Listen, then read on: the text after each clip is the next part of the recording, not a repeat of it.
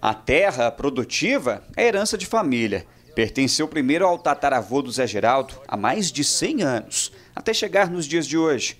A Fazenda Maravilha tá do jeitinho que ele sempre sonhou. A fazenda aqui, ela tem uma história, ela é parte da fazenda que foi do meu tataravô, depois do meu bisavô, do meu avô e atualmente da minha mãe. E eu toco a fazenda aqui com muito carinho. Acho que é, é uma coisa que é, preenche o coração da gente. É bom a gente dar continuidade no que é, como diz meu pai, a gente é proprietário transitório, né?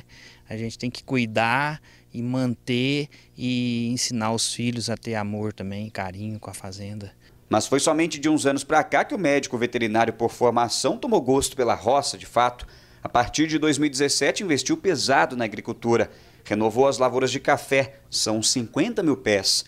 O gado deu lugar à plantação de soja. E nas áreas onde não tinha como ter café nem soja, olha só, estão crescendo pés de abacate que darão frutos daqui a uns 5 anos. A vida inteira eu mexi com gado.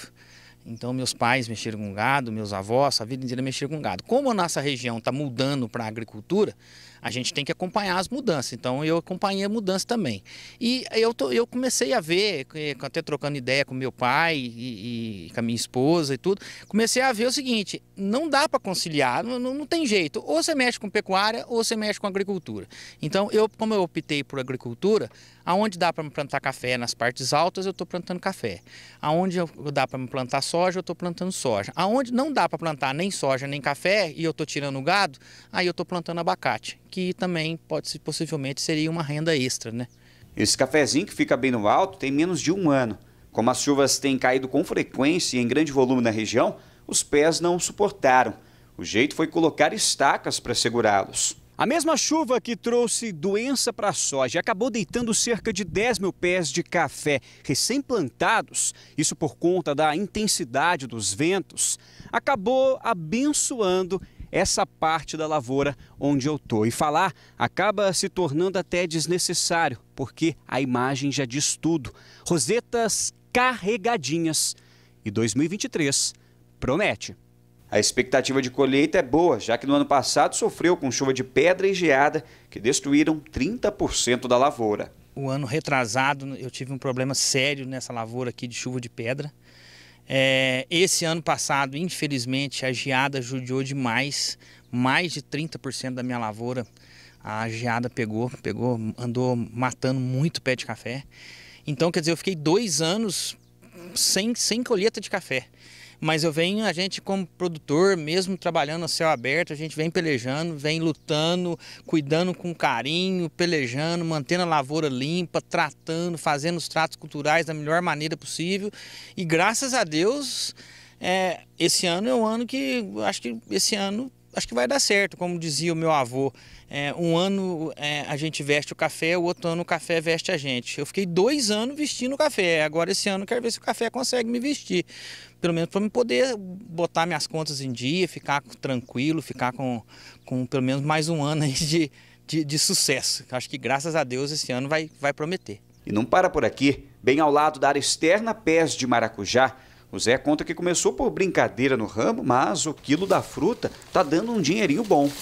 Plantei 30 pés e depois passei para 70, que são esses pés aqui que estão em produção.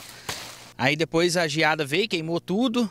Aí eu peguei, replantei todos, aí passei para 150 pés, entendeu? E hoje estou com 240 pés, tem mais uma, uma, leva de pés novos aí, que nada, nada está ajudando na renda mensal, ajuda a pagar gasolina, ajuda a pagar as despesas pequenas da fazenda aí, tá, tá, tá me surpreendendo. Fiquei muito satisfeito com a planta da, do maracujá. Para expandir a plantação da fruta, está recebendo consultoria online de um engenheiro agrônomo do Pará toda semana. E eu mando foto para ele, mando vídeo, aí ele pega, me liga, a gente conversa. E, e ele é que está me dando todo o, o, o, apoio técnico, o suporte técnico dos produtos, até do que usar, entendeu? Das adubações, da, às vezes alguma doença que entra, entendeu? E no mais eu estou muito satisfeito. Quem dera se eu pudesse continuar aumentando entendeu?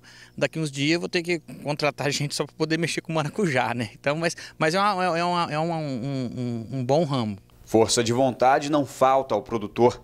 O próximo passo vai ser aumentar a área de soja e a compra de equipamentos agrícolas. A tendência é, é, é ampliar, é, todo ano a gente está ampliando, porque hoje em dia a gente ainda ajuda muito com, é, com, com aluguel, né?